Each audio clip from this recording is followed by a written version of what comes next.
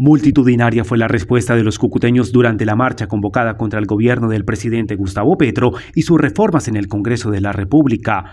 Fuera Petro fue la frase más repetida por los asistentes, quienes marcharon desde las inmediaciones del centro comercial Ventura Plaza hasta el Parque Santander. Es militares, ciudadanos descontentos, representantes de gremios económicos y sectores políticos de oposición alzaron su voz en contra de las decisiones del presidente Petro y la forma como está gobernando el país. La jornada de movilización denominada Todos a la calle se desarrolló en la capital de norte de Santander de forma pacífica, al igual que en el resto del país. En Cúcuta no se tiene una cifra oficial de cuántas personas personas salieron a las calles, extraoficialmente se habla de 10.000 asistentes. El punto de concentración fue el Parque Santander, en pleno corazón de la ciudad. De acuerdo al reporte de las autoridades a través del puesto de mando unificado instalado para monitorear las movilizaciones, más de 250.000 personas salieron a las calles en más de 20 ciudades del país. También colombianos en el exterior salieron a las calles en ciudades como Miami, Nueva York y Madrid.